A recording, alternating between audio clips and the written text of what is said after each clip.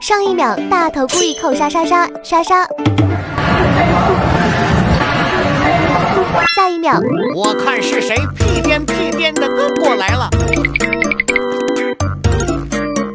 莎莎生气说不跟你玩了，扭头走之后，这段还是第一次看到这么精彩的画面啊！莎莎和大头一起练对打的时候，大头教了几次莎莎，但莎莎的球还是冒高，大头扣杀想给莎莎点教训。还气呢！报告，我直接一个暴跳。没想到莎莎生气了，和大头生气说：“我不和你玩了。”大头这直男教人家莎莎打个球，咋还上头了呢？瞧把莎莎给气的，看着莎莎生气后站到了刘丁硕旁边，大头马上跟刘丁硕进行了交接。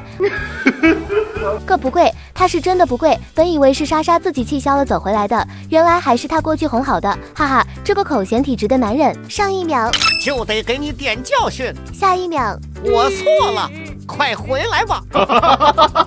沙头俩人采访完后，莎莎还以为直接就可以走了，谁知道大头根本没有动的想法，莎莎直接撞到了他身上，这小子是一点躲的意思都没有啊！莎莎如果再高一点的话，就直接亲到大头脸上了。